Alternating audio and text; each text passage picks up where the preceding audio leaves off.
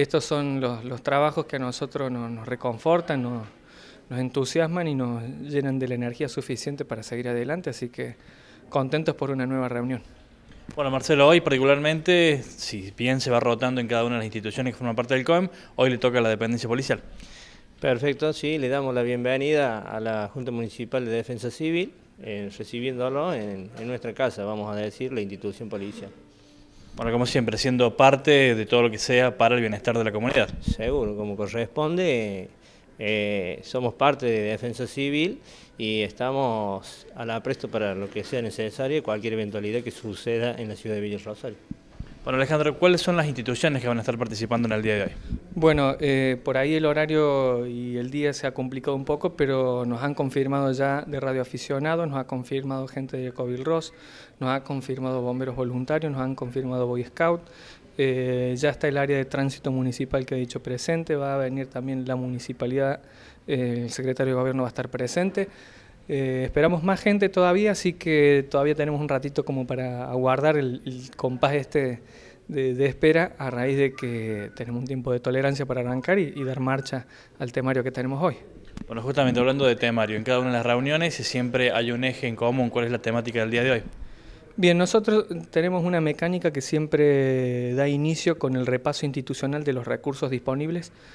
no específicamente eh, destinados a la actividad de la institución, sino destinados o que puedan ser brindados a defensa civil, porque a lo mejor hay recursos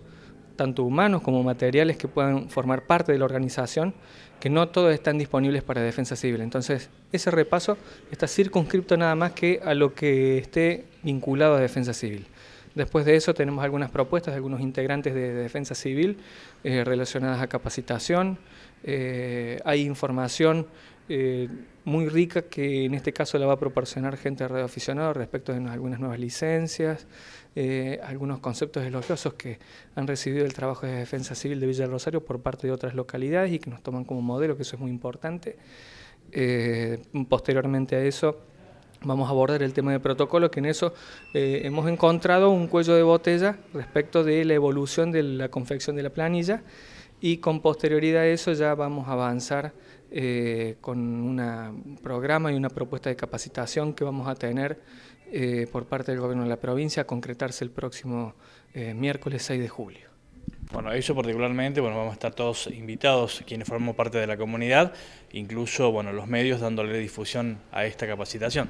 Sí, porque de hecho esta capacitación viene a ser el puntapié inicial de un pedido viejo que venimos nosotros realizando relacionado a la capacitación para los medios respecto del rol de los medios en, la emergencia.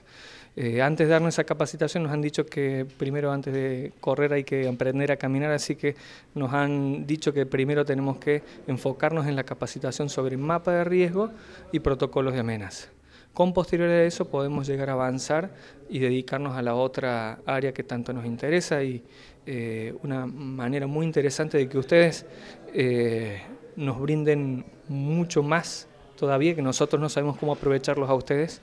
y son una herramienta vital también en la defensa civil. Bueno, mencionabas hace instantes también el hecho de que había propuestas, se pueden difundir esas propuestas, se van a hacer la presentación oficial en el día de hoy. Sí, sí, hoy eh, no son mías, sino de algunos otros miembros, no las conozco bien en específico, tengo los títulos, pero están relacionadas en algunos casos con capacitación también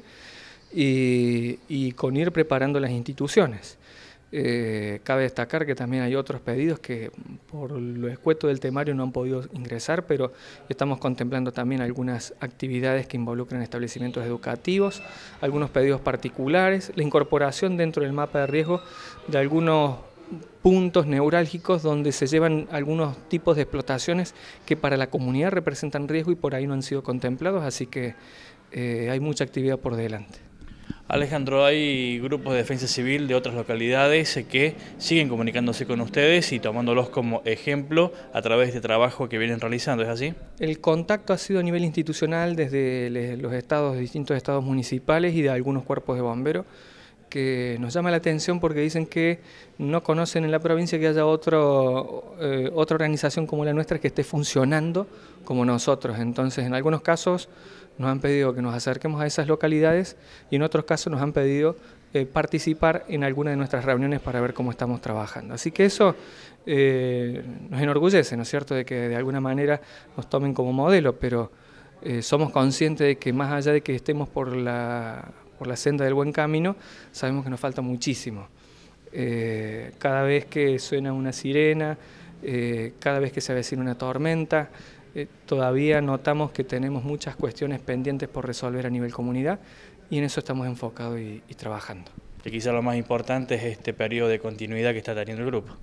Sí, sí, porque eh, es natural en la dinámica de las instituciones que se produzcan cambios. Entonces, en esos cambios, de pronto, eh, cuando se presenta el siniestro, si uno no se reunió más, eh, llama a esa institución que la necesita para el momento de emergencia y el que atiende no sabe que ni siquiera la institución forma parte de defensa civil